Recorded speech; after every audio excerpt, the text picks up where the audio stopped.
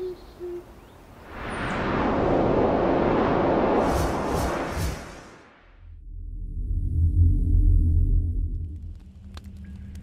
They can't think for themselves. They sit back and they drink Coke all day and sit behind a video game system and then wonder why, oh, oh, you're crazy, Brother Powell, for believing in a creator. Oh, you're insane. No, you're crazy. And you need to get off the video game system and somebody needs to preach to them the gospel of Jesus Christ and so that they can be saved. That's what we need.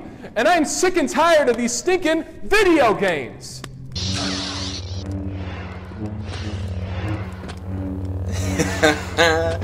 Got you, you Oh. Oh, I didn't see you come in. Bad tempered badger here. Today I'll be responding to a series of videos by Matt Powell. Seems to be a big thing in the podcast circuit these days. Let's see where he goes. Just uh, ha- have a listen to him for a minute while I finish this. You know, I had an atheist tell me, I, I, I don't believe in God because I can't see God. I, I, don't see him. Where is he? And he says, if, you, if, you, if, if Jesus Christ appears in front of me, I'll believe it. But let me ask you a question. This building, I don't know when this building was built, but you know what? I can't see the builder, but you know what? I have enough brains to understand that somebody put this place together. And I have another question. What is more complex, this, this little building that we have here or the, the world and the way things work together? If this world is more complex, wouldn't that demand that there'd have to be a designer? With a very basic understanding of how the world works, yes, it would look that way. When you actually examine the evidence, you can see through a process of scientific inquiry how the Earth formed, how life evolved from simple life to complex life to the myriad of species that we see today, which, of course, us badgers are the pinnacle. The world is a very interesting place. If you broaden your mind and look at the scientific understanding of how everything functions, life can be a wondrous experience. But if all you do is cling to your ancient fairy tales and stories of a better place that you're going to after you die, you'll miss everything there is to see while you're here. And this is just to answer another atheist that attacked me recently. He says, Oh, well, you have to apply that same logic to God, because then God would have to be more complex. Well, let's think about that reasoning for a minute. Anybody knows that there's, it's, it's impossible for there within time to be an infinite amount of cause and effects. So if we go back far enough in time after cause, effect, cause, effect, cause, effect, there has to be a first cause or something that's actually outside of time, space, and matter. And if- what's amazing is any philosopher will admit it. But what's crazy is a lot of atheists will say, well, yeah, there's definitely an uncaused cause, but they won't admit it's God because they don't want to answer.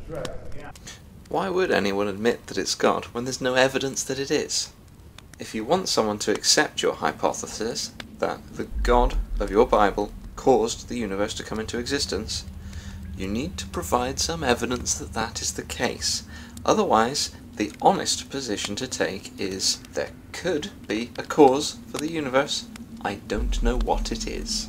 You know, and I, I'm going to use more scripture here, but, you know, just let's say, for example, we had a beach party, you know, and we, we go out and we, we go to the beach, and I see on, on the shore, I see like a sandcastle on the shore.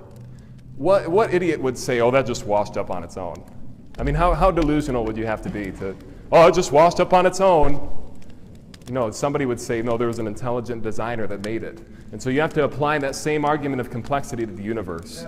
The universe, my friends, was designed. And uh, by this time, usually when I talk to an atheist, if they're honest, if they haven't gotten really mad and left, they'll at least say, okay, yeah, there's a God, you're right, but how do you know it's your God? And that's, that's what I was hoping they'd ask, right? Amen? And so, um, God is the first cause. He's the uncaused cause. And notice it's a singular uncaused cause. There's only one God. There's not millions. And uh, even, even a philosopher will tell you that there's only one, there's one uncaused cause. And they know that it has to be intelligent. And I believe it's loving. I believe it's the God of the Bible. And I believe he came down here and took on flesh. So your answer to the question, how do you know it's your God, is I don't. I, I just I choose to believe it is. Great answer. At least it's somewhat honest. Well, let's have a look at another one of his videos. Um, It's funny, I was just talking to an atheist the other day, and uh, he didn't know why we were in 2017 AD. Actually, no, it's uh, CE now. Or is it BCE? Just stick with AD, it's simpler.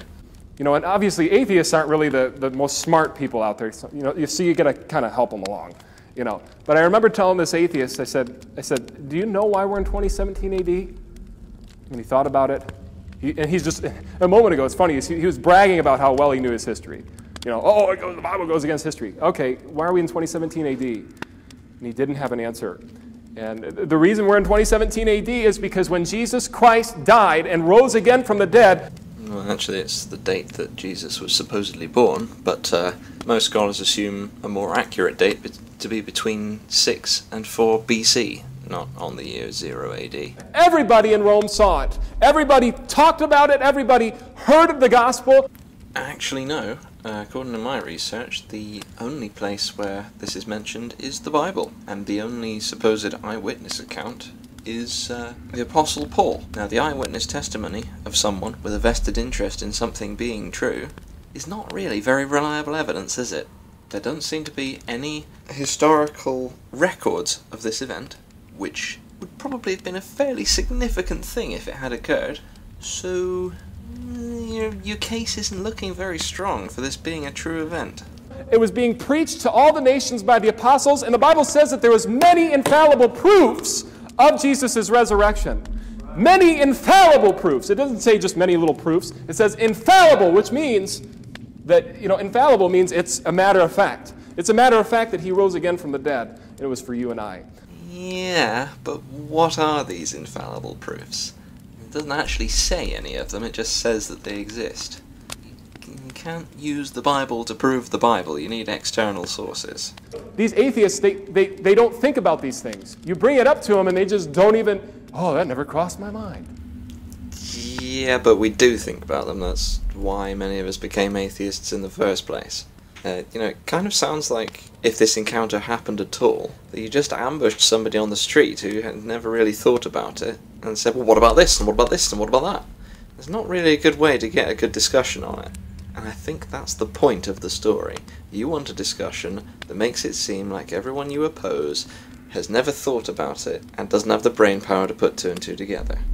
Whereas if you actually talk to people who do think about it and do look at historical evidence and do consider the ramifications of what that evidence means, your position comes up severely lacking. Well, I think that's quite enough of this guy for one day. But uh, in other news, I'm doing a debate with Mr. Alpha 4, the Catholic chap I've spoken to a few times before. The exact video format of this debate is still being determined, but uh, it'll be ready to view in the next few weeks. I'll update you as soon as I know more.